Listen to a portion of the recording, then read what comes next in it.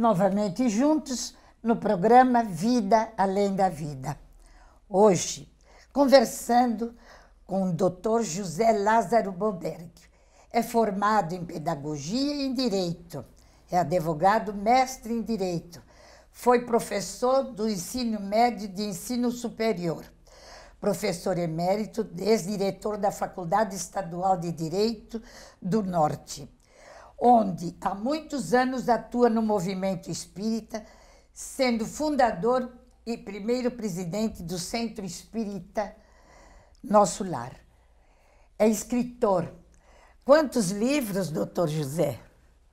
Nós temos, é, até hoje, é, 18 livros, da seguinte forma. O primeiro livro é, que eu lancei é fruto da, da minha dissertação de mestrado em Direito, é um é livro jurídico. Nós temos dois pela editora Chico Xavier e temos 15 livros pela editora M, perfazendo um total de 18 livros.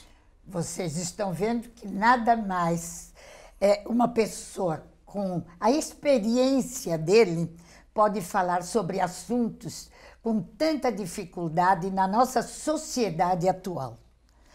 Uma situação, doutor José, considerada como um fracasso pode ser uma solução?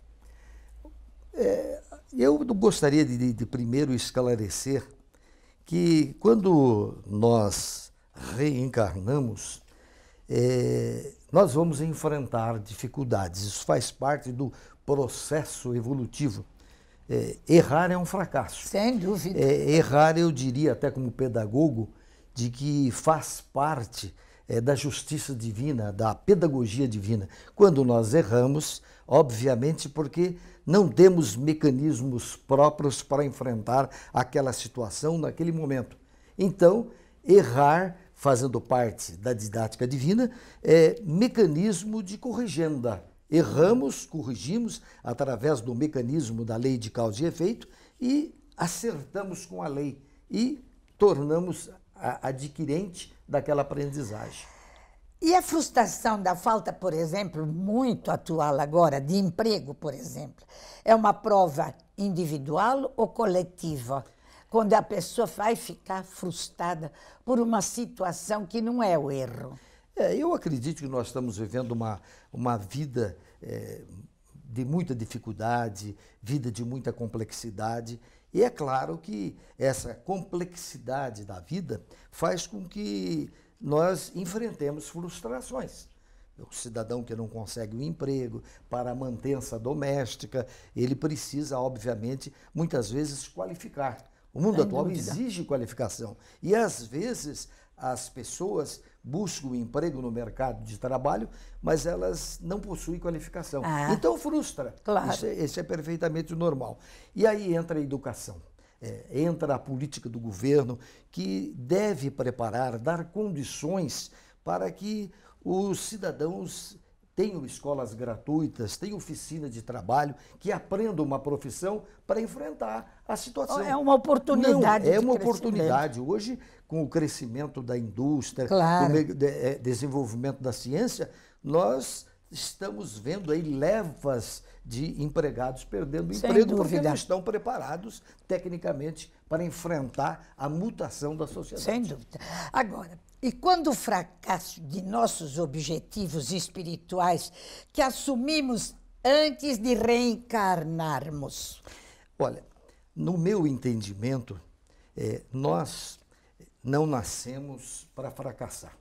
Sem dúvida. Né? Nós não, não nascemos para pagar dívida.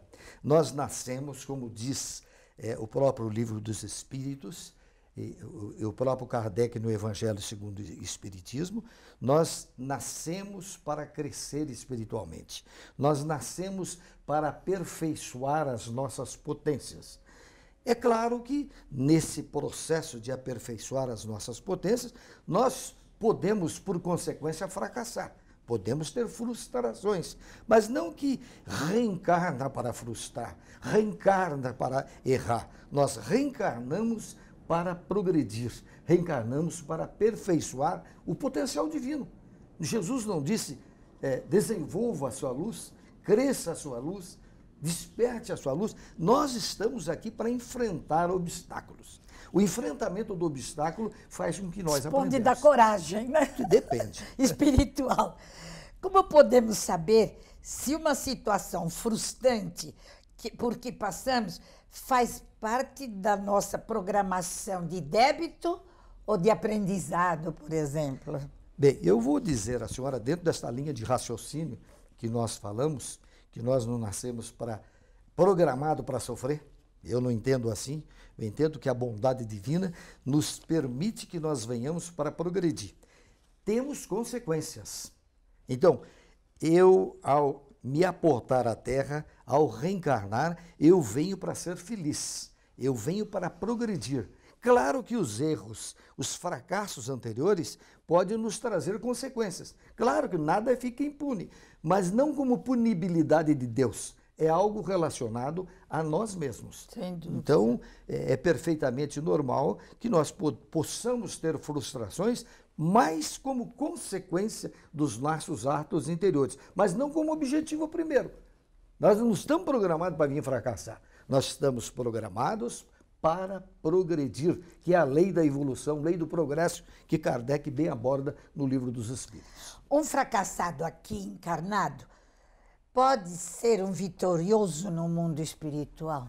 É, a vida não para.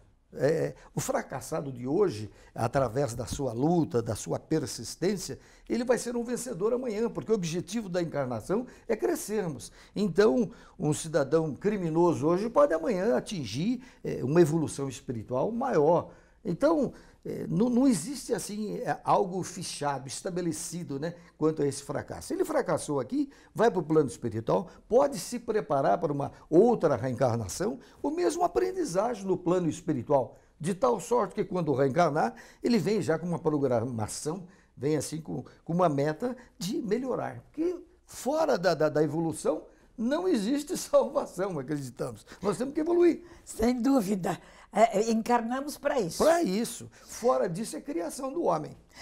Como podemos enfrentar e lidar com as frustrações? Qual será o limite dos nossos desejos?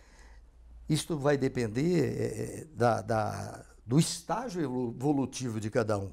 Todos nós temos determinados estágios. E limitações. E limitações, obviamente. Então, é, cada um enfrenta dentro da sua faixa de sintonia evolutiva. É, uns estão em 10, outros estão em 15, outros estão em 20, de acordo com a faixa evolutiva, a faixa vibracional deste contato com as leis do universo, cada um vai enfrentar dentro dos mecanismos psicológicos que ele possui. Vamos a um breve intervalo e voltamos em seguida. O programa Vida Além da Vida tem o apoio cultural da Livraria Espírita União. Adquira estas e outras importantes obras na Livraria Espírita União. Sempre as melhores publicações espíritas do país. Livros de todas as editoras espíritas. Descontos especiais para centros espíritas, associações, livrarias e clubes de livros. Livraria Espírita União. Avenida Rangel Pestana, 233, ao lado da estação Sé do metrô. Voltamos conversando com o Dr. José Lázaro Boberg. Porque há países, regiões privadas de alimentos, cuidados de recursos materiais básicos, são regiões destinadas ao fracasso e frustrações. Nós vemos agora, passamos por situações de migrações de seres humanos, buscando local e pessoas até qualificadas não são pessoas sem instruções. Por que será então essa frustração desta pessoa encarnada? É, nós, nós, entendemos, é, sempre sobre o ângulo do progresso e da evolução, de que não é questão de região. O Kardec fala do coração, fala da alma, da sociedade. À medida que a sociedade evolui, ela produz melhores recursos, ela oferece melhores meios para os seus cidadãos. O que nós estamos vendo É uma guerra fatricida, uma, uma guerra sem, sem, sem motivos, mas mais pelo egoísmo do homem. Ah, o egoísmo do homem, o egoísmo do poder. E então, brigas religiosas, que é a coisa mais absurda, Absurda. que pode existir, ninguém pode brigar por religião, cada um tem a sua forma de ver, Deve de acordo com o seu respeito. estágio evolutivo, e vive é, nesse- nesses países, nós estamos vendo briga, criança morrendo à flor da mocidade, velhos trucidados, por falta de amor. Sem dúvida. Falta de amor. À medida que a sociedade evolui, ela vai eliminando isto. Nós vamos- tendo uma sociedade mais justa, mais honesta.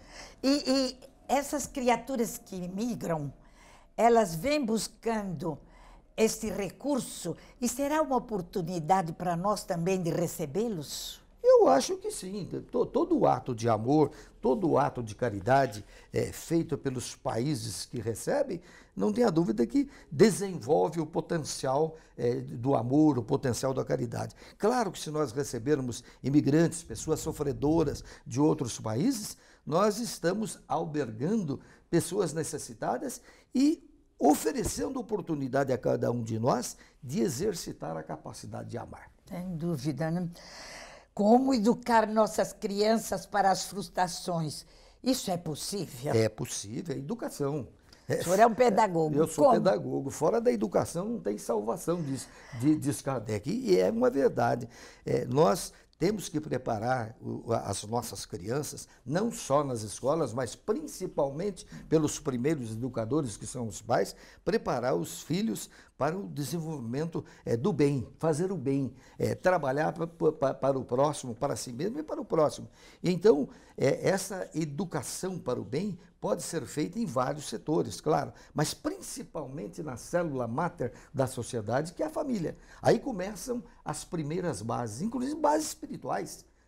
A senhora vê que eh, nós encontramos eh, nesse processo eh, pais que procuram, desde a infância, abrir espaço para que as- essas crianças desenvolvam o reino de Deus dentro de si, através de orientação religiosa, seja qual Claro, for. seja qual for. Porque, na realidade, eu não faço diferença de religião. Sem religião é, é, é, uma- é um exercício do amor no lar e na própria escola, na própria igreja, né?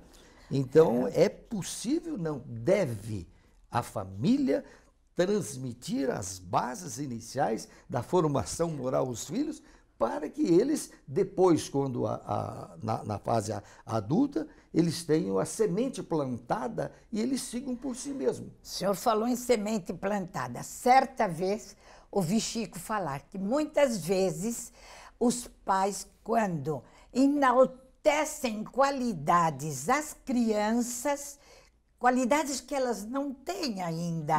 Mas, por exemplo, está aprendendo piano, toca muito mal, mas para os pais é um virtuoso e a criança se acredita. Ou então na pintura ou, ou nas letras, e a- a- os pais, sem discernimento, enaltece virtudes que a criança não tem.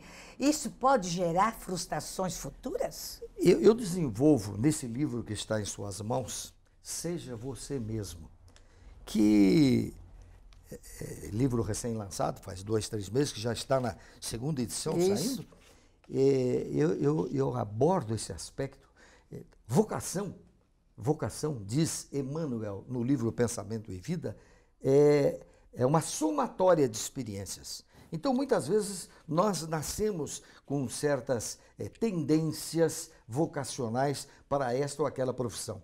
E eu digo nesse livro, muitas vezes os pais sequestram a subjetividade dos filhos, querendo que eles desenvolvam aquilo que não está programado para eles. Eles frustrados. Eles que são frustrados e querem que os filhos sejam iguais a eles. Sem dúvida. Entende? Então, eu conto no livro é, casos, por exemplo, de pais que quiseram que os filhos, digamos, é, eles tenham um escritório de advocacia, por exemplo. Não, filho, você vai fazer advocacia porque você vai aproveitar o meu escritório, É, os meus meus livros, clientes. os meus clientes, né?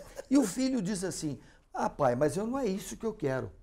Mas o pai força e muitas vezes o filho vai fazer uma, uma profissão, vai exercer uma profissão que vão ser maus profissionais. porque não estavam programados, até por reencarnação, para dar continuidade àquilo que eles iniciaram em existências anteriores, e eles possuem é, mecanismo para dar continuidade. E aí Sim. o filho se frustra.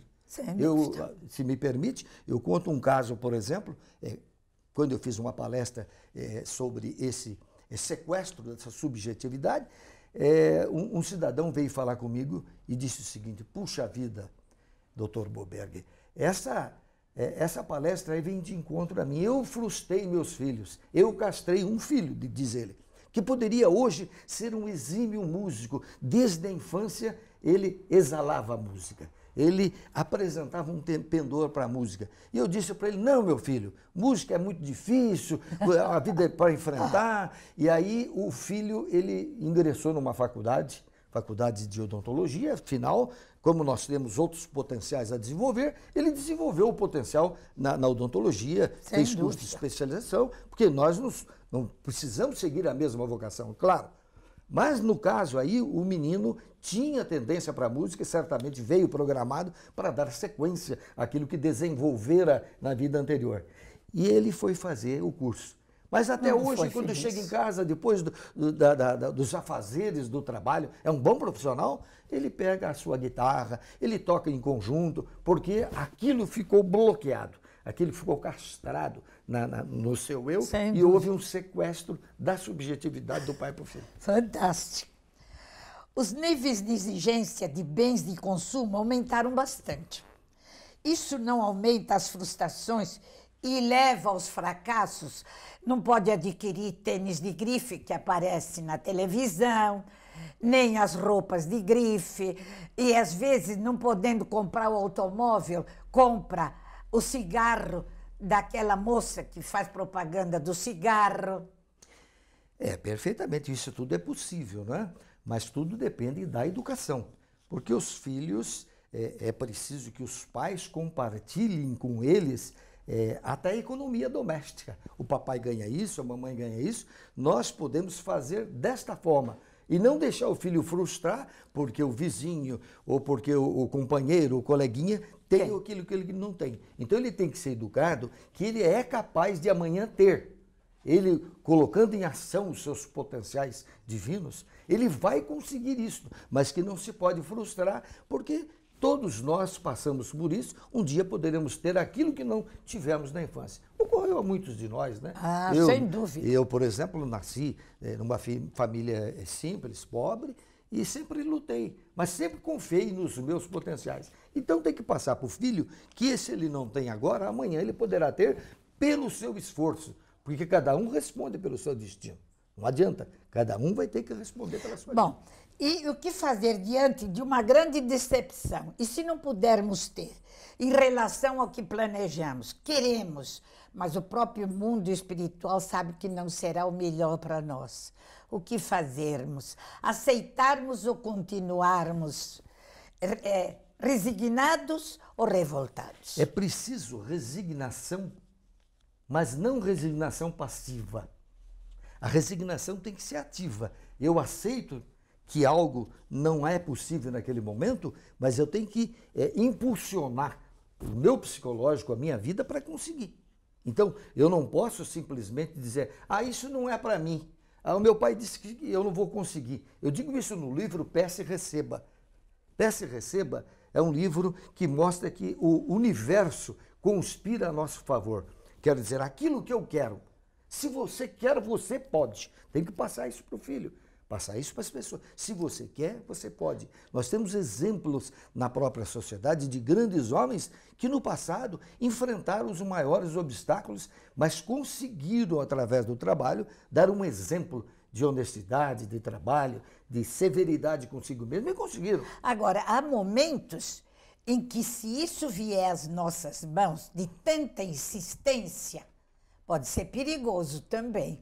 Ser uma faca de dois gumes. Por exemplo, pedimos dinheiro, queremos, lutamos, conseguimos dinheiro, mas não sabemos administrar como o mundo espiritual gostaria que se fizesse o dinheiro em nossas mãos, vai ser um perigo também, não pode ser? Pode, mas existe o livre-arbítrio.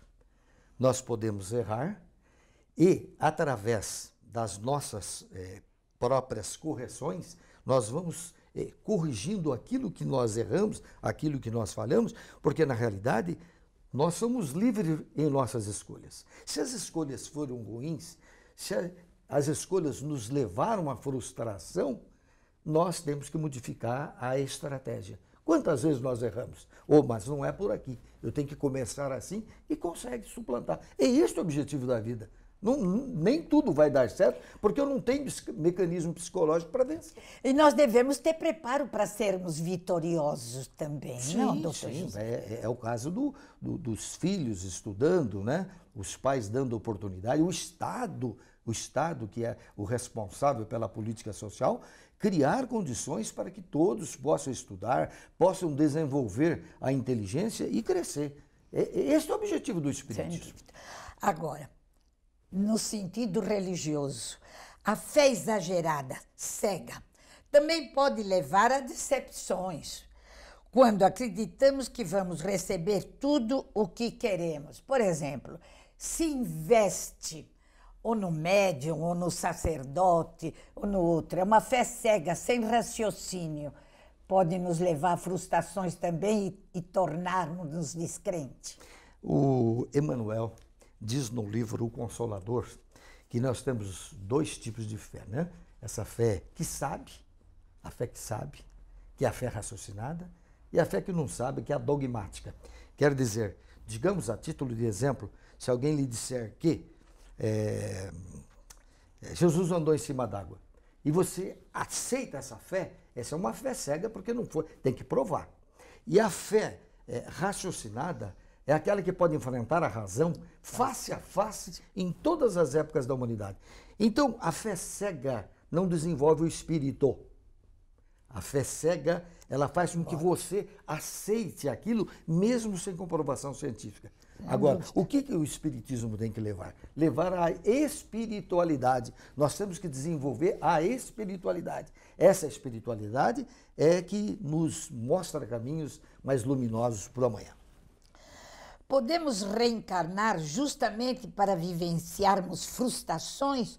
O que elas significam, afinal, para a evolução do espírita, do espírito? Vem, nós vamos fracassar. Esta frustração está ligada a alguma karma, como costumam dizer, alguma coisa do passado? Eu não acredito assim. Eu não acredito assim, e eu já disse no início à senhora que nós reencarnamos para aperfeiçoar. Está lá no livro é, dos Espíritos, questão 132. Qual o objetivo da encarnação? Os Espíritos respondem que é o, a perfeição. Nós reencarnamos para aperfeiçoar. Reencarnação é uma lei. Reencarnação é uma lei. Mas nós não reencarnamos para fracassar. E é onde está o limite entre a nossa coragem para persistir. Por exemplo, eu quero dinheiro de qualquer jeito, vou persistir. Ou a resignação para aceitarmos a não tê-lo em nossas mãos. Eu digo e repito novamente, resignação dinâmica. Não resignar, dizer eu não sou capaz, eu não posso, porque você pode tudo. E isto depende do seu trabalho, da sua luta, porque senão nós pararíamos no meio do caminho. Infelizmente, vida além da vida chega ao seu fim. Mas como nós temos muito aqui explorar o nosso é, companheiro, novamente estaremos no programa da semana que vem. Até a próxima semana, se Deus quiser.